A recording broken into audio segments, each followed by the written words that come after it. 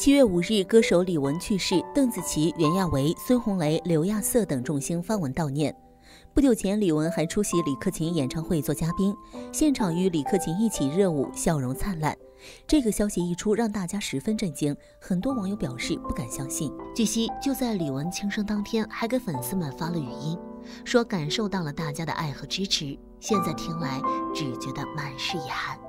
亲爱的，我是 Coco，感受到大家对我的爱跟支持，然后。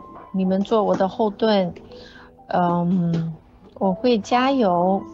那这段这段时间呢，希望你们自己身体健康、快乐。我非常想念大家，我在努力努力。